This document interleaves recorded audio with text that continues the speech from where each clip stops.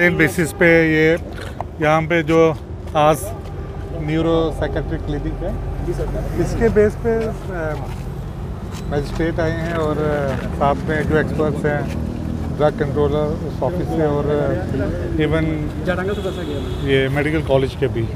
तो वो देखेंगे क्या क्या वायलेशंस है। किस तरह की कंप्लेंट की कोई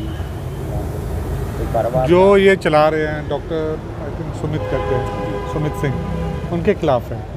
सर अभी तक जाँच में क्या क्या मिला यहाँ नहीं अभी इनिशियल है अभी रिकॉर्ड वगैरह वो कर रहे हैं। क्योंकि क्योंकि शहर में बड़े क्लिनिक चल रहे हैं सर क्योंकि एक्सपर्ट जो हैं वो तो ड्रग ये ड्रग डिपार्टमेंट और डॉक्टर्स वगैरह वही हैं तो अभी वो रिकॉर्ड वगैरह की जाँच कर रहे हैं।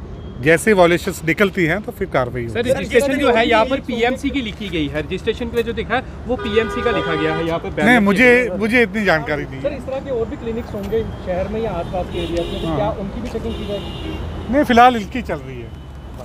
तो बाकी भी देखेंगे। किस तरह की शिकायत आ रही थी सर? क्या नहीं मैं तो जस्ट इधर किसी दूसरे काम से आया हूँ मुझे जाना था कहीं पे तो बट यहाँ पे ये है कि जो भी वायलेशंस हैं चाहे वो जो भी ये हमारे ड्रग्स वाली जो जिनको देना है जो पेशेंट्स हैं वो हों चाहे वो क्या डॉक्टर अथोराइज है लाइसेंसेस के रिलेटेड फार्मेसी के रिलेटेड और क्या वो कहीं ऐसा तो नहीं है कि वो एक ही एक ही साथ तीन जगहों पे प्रेजेंट हो रहे हों?